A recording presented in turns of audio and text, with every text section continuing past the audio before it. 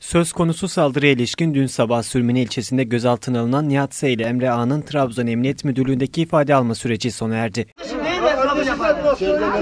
İki şahıs için bu sabah bir gün daha ek gözaltı süresi alınırken şahıslar ifadelerinin tamamlanmasının ardından Emniyet Müdürlüğü'nün arka kapısından gizlice çıkartılarak polis aracıyla Sürmeni Adliyesi'ne götürüldü.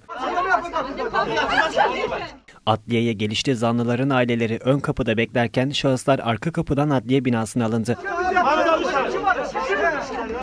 Bu duruma tepki gösteren ve adliye kapısını yumruklayan şahısların yakınları adliyeye girmek istedi. Polis ekipleri buna izin vermezken kızgın aileleri polis ekipleri güçlükle sakinleştirdi. Çocuklarının suçsuz olduğunu belirten aileler Trabzon valisi Abdülcelil Öz'e de tepki gösterdi. Nöbetçi savcılığa çıkartılan şahısların ifadelerinin alınmasına başlandı. O sakinleştirdi abi şimdi. Devam ediyor da gerginlik öyle fazla bir şey.